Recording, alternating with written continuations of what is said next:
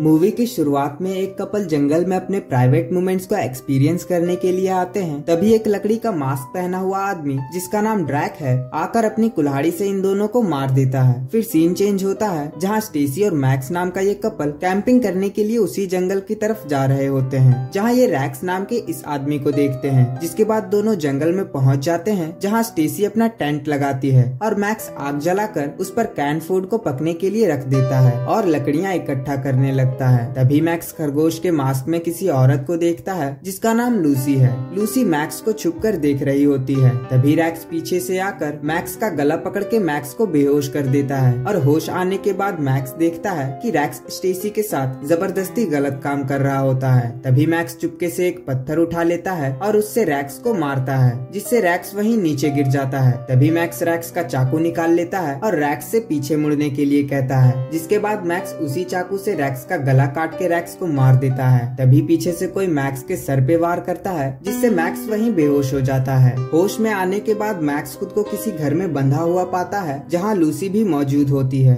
जो मैक्स के होश में आते ही वहाँ से बाहर निकल जाती है, जिस पर मैक्स भी वहाँ से निकलने की कोशिश करता है, लेकिन तभी ड्रैक रेंगते हुए वहाँ आ जाता है, जो काफ़ी बीमार लग रहा होता है। तभी लूसी अपने साथ एक औरत को लेकर आती है, जिसका नाम क्रिस होता है। दोनों औरतें मिलकर मैक्स को उठाती है, जिससे मैक्स डर कर चिल्लाने लगता है, तभी क्रिस मैक्स को चुप करा देती है और मैक्स को देखकर पागलों की तरह हंसने लगती है, जिसके बाद वो मैक्स को नीचे गिरा देती है और मैक्स को गुदगुदी करने लगती है, जिससे मैक्स गुस्सा हो जाता है और चिल्लाने लगता है। लेकिन तभी क्रिस मैक्स के प्राइवेट पार्ट पे बार बार मारती है, जिससे मैक्स शांत हो जाता है और तभी ड्रैक की तबीयत बहुत ज़्यादा खराब हो जाती है। दोनों औरतें ड्रैक को देखने के लिए जाती हैं, जहाँ ड्रैक की तबीयत ज़्यादा खराब होने की वजह से ड्रैक मर जाता है और दोनों औरतें ड्रैक की मौत पर रोने लगती हैं। तभी इधर मैक्स मौका पाकर अपने पास पड़े बैग में से एक चाकू निकाल लेता है और अपनी रस्सी काट कर यहाँ से भाग निकलता है। तभी भागते हुए मैक्स को रास्ते में एक बूढ़ी औरत मिलती है, जिसका नाम मार्था होता है और मार्था के पास एक गन भी होती है। तभी मैक्स मार्था से मदद माँगता है, लेकिन मार्था उसकी मदद करने से मना कर देती है और वापस उसी घर में चलने के लिए कहती है, जहाँ जाकर मार्था उन दोनों औरतों से अजीब सी भाषा में कुछ कहती है, जिसके बाद लूसी मैक्स के मुँह पर कपड़ा लगाकर उसके हाथ को बाँध देती है और क्रिस मैक्स के जूते उतार देती है। तभी मार्था अपने साथ एक कील लेकर आती है, जो वो मैक्स के एक पैर में ठोक देती है, जिससे मैक्स दोबारा से यहाँ से भाग न सके।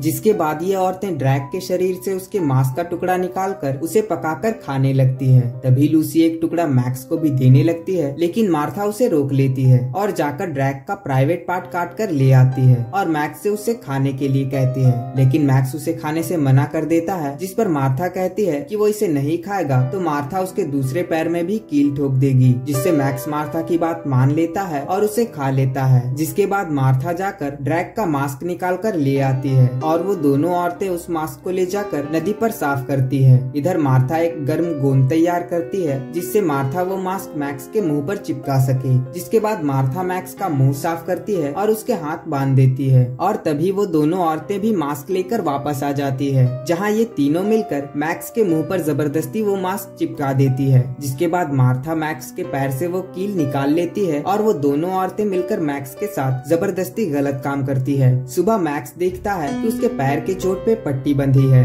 जिसके बाद मैक्स बाहर की तरफ़ जाता है, जहाँ मार्था मैक्स को बाहर लेकर जाती है, जहाँ ये लोग ड्रैग की बॉडी को जला रहे होते हैं, जिसके बाद ये लोग रात होने पर साथ में खाना खाती है और साथ ही मैक्स को भी खाने के लिए कहती है। खाना खाने के बाद क्रिस मैक्स का पैंट छूने लगती है, जिस पर मैक्स क्रिस को रोक देता है। तभी मार्था मैक्स को बंदूक दिखाकर उसे चुप रहने को कहती है, जिसके बाद क्रिस मैक्स के साथ दोबारा से ज़बरदस्ती वही सब करती है, जिसके बाद ये सभी सो जाते हैं, जहाँ रात में लूसी की नींद खुल जाती है और लूसी दोबारा से वो सब मैक्स के साथ करने लगती है, लेकिन अब तक मैक्स भी इस चीज़ को एक्सेप्ट कर लेता है, और मैक्स भी उसके साथ वो सब करना शुरू कर देता है। फिर सीन चेंज होता है और सुबह मैक्स इन औरतों के साथ खाना खाता है, जहाँ ये औरतें मैक्स को अपने साथ होता देख बहुत ज़्यादा खुश होती है, जिसके बाद मैक्स बाहर जंगल की तरफ़ निकल जाता है। और इन औरतों को लगता है कि मैक्स अब वापस नहीं आएगा। लेकिन ये फिर भी मैक्स को जाने देती है। इधर मैक्स अपने टेंट तक पहुँच जाता है, जहाँ मैक्स अपने खाने की बर्तनों को देखकर इमोशनल हो जाता है और रोने लगता है, जिसके बाद मैक्स जंगल में ही इधर उधर भागने लगता है और भागते हुए शाम हो जाती है। वही मैक्स को एक कच्ची सड़क दिखाई पड़ती है, जिस पर एक गाड़ी मैक्स के पास आकर रुकती है और उसमें से चार्ली नाम का आदमी बाहर आता है। फिर से सीन चेंज होता है और सुबह तीनों औरतें नदी के पास होती है, जहाँ ये मैक्स मैक्स को वापस देखकर खुश हो जाती है और मैक्स चार्ली को भी अपने साथ लेकर आया होता है। जहाँ मार्था चार्ली का प्राइवेट पार्ट काट कर मैक्स को खाने के लिए कहती है और इस बार मैक्स बिना किसी झिझक के उसे खा लेता है, जिसके बाद मार्था चार्ली पर पेट्रोल डालकर उसे मार देती है और घर आकर ये चारों चार्ली के बॉडी पार्ट्स को खा रहे होते हैं। खाने के बाद मार्था मैक्स को उसका आईडी कार्ड और उसके पैसे देती है, जिसे मैक्स आग में जला देता है। और तभी मार्था मैक्स से कहती है कि अब मैक्स भी उनके परिवार का एक हिस्सा है और मैक्स भी इस बात को मान लेता है। सुबह मार्था मैक्स को ड्रैग की कुल्हाड़ी देती है और मैक्स को स्टेसी के पास लेकर जाती है, जहाँ स्टेसी मैक्स को देखकर मैक्स से मदद मांगती है, लेकिन मैक्स उसकी बात को नहीं मानता और कुल्हाड़ी से स्टेसी को मार देता है और मूवी यहीं पे खत्म हो जाती है। तो दोस्तों, अगर आपको हमारी ये वीडियो पसंद आई हो तो वीडियो को लाइक कर दो और चैनल को सब्सक्राइब नहीं किया है तो यार सब्सक्राइब करके बेल आइकन को भी प्रेस कर दो, जिससे आपको हमारी नई वीडियोस की नोटिफिकेशन सबसे पहले मिल जाएगी। तो मैं मिलूँगा आपसे अपने अगली नई वीडियो में, तब तक के लिए